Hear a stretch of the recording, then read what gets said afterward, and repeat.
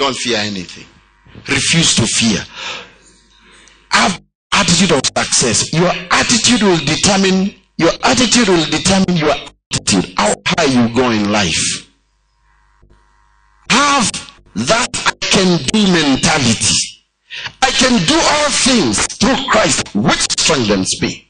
For there is going to be new wine and new oil. There's going to be wine, new wine and oil. That's the, the supply of the anointing without measure. The anointing will be flowing. The ability of God. The anointing is the ability of God working in man to do extraordinary things. When the anointing comes upon your life, you become a superman.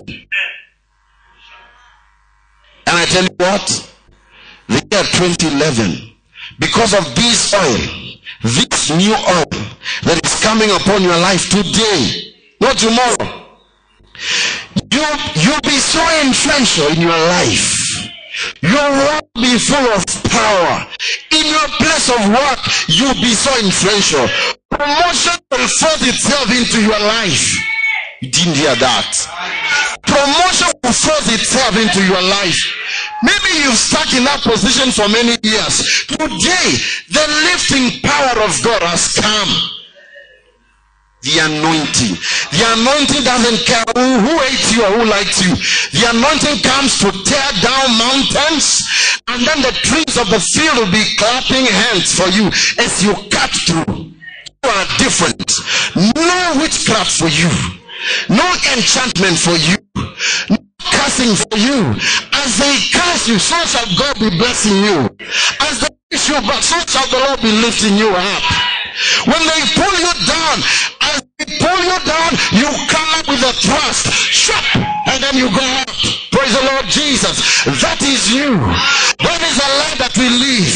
You cannot cover us. You cannot stop us. Nobody can stop you. When you put your gaze on, refuse to give up, refuse to give it, because God has given you a fresh anointing. The anointing to tear down mountains. You know what?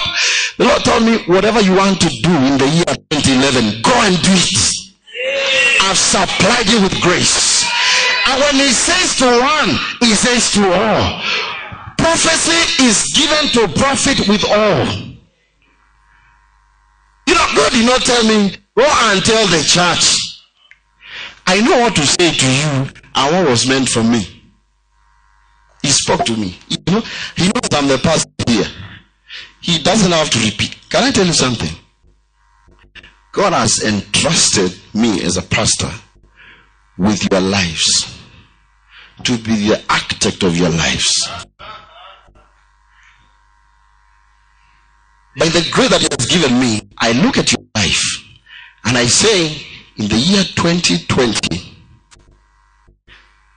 I see the man Andrew reigning in the IT world. I see him controlling this amount of money. I see him making such an impact in the kingdom of God. And then I start praying in the spirit based on that. When I handle somebody, when I take somebody gamble, I say, Father, gamble is the answer to the hurting world in Congo. Gambo is the answer to the women of Congo that are being raped day in, day out. Then I start praying. The resources are supplied. The right people are aligned to him. Yet every structure, every facet that he needs is already supplied. And I see you 2015 being the voice of nations far and near. Praise the Lord Jesus. So the year 2011, Bilo zibra keba hande Rando zubro kili will cause you to move at a supernatural speed, divine speed. You know what? Men will try to touch your jacket to push you back.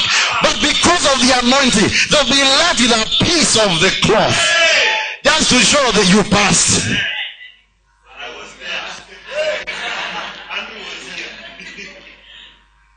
We are different. The sun knows you're different. The moon knows you're different. The stars, they can even fight for you. I told you yesterday, stars fought for a man of God. In the Old Testament, where they did not have grace, stars, the stars of heaven. See, the star of Jesus came directing the wise men. The, not three wise men. Nobody said there were three. The Bible doesn't say there were three. The star of Jesus from the east directed the wise men to where he was. You have a star. And you are a star. You are a star in life. See, there, that is the heavenly bodies. They watch over you. You are not alone. Even you realize you are only the only one in a certain environment, don't say you are alone. You are the majority. See what? People may want to push you down and say you nothing. Don't listen to that voice. Listen to the voice of God. Hey, when they, I told you when they push you down, something will thrust you up. You got it. It's yours. The problem is when you start crying. When you start saying, well, I don't know, I don't know, I don't know. You know. You know. Today, special grace has come upon your life. Special ability has come upon your life. Where they called you not my people. The same place they will say, This is the guy that we wanted. But initially they say they don't want you. You are of God. I, marvel the way God works. You know, when God realizes people don't see the blessing that is in you, He will carry you to another place. You are special to God. You are too special to God to be kicked around. Put value. In God has you are you are bought with a price. The value that God paid for your life is His own life. He paid His own life. That is how special you are to God. He gave His life for you. He bought you with his own life. Not with gold and silver. Mm-mm. With his own what? He bought you. So that is how important you are to. No man can kick you around. When you buy something that is precious gamble, you treasure it. You don't buy a car to go and burn it. You don't buy a house to pull it down. God has bought you because you are special to Him. Think that way talk that way, walk that way, pray that way, pray with that understanding that I'm special. I'm special to God. This man may say otherwise, but I am special and I know it like I know my name. Hey, I know it. Men can gossip and put you down. They can kick you around, but you say I'm special. You can do nothing about it. I am special. I am born of God, and God treasures me. I am the focal point of God's love. Everything about heaven is focused on me. I am God's special man. I am like his, like his what? His eyeball. I am the apple of his what? I am tattooed on his palm.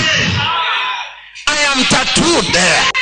That means you cannot remove me from him. When a man is tattooed, he dies with the tattoo. It becomes part of his, his cells. And the Bible says he has tattooed us and names on his word. That means every time he sees me, every time he thinks about me, what is man that you are so mindful of him? That means the mind of God is full of Judah. I don't know about you, but the mind of God is yeah. In the year 2011, I, I, I don't have sleepless nights about 2011. I just sleep well. I'm just saying this for lack of words. That the year 2011 is a year of tremendous, tremendous growth and expansion.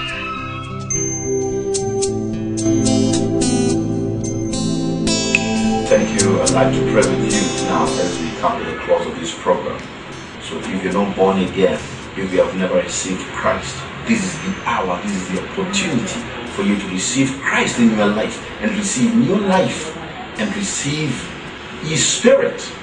I'd like you to pray this prayer after me. If you have never known Christ, you have never received Him, pray this prayer after me. Say, Lord Jesus, I've heard your word. This day, I receive you in my heart.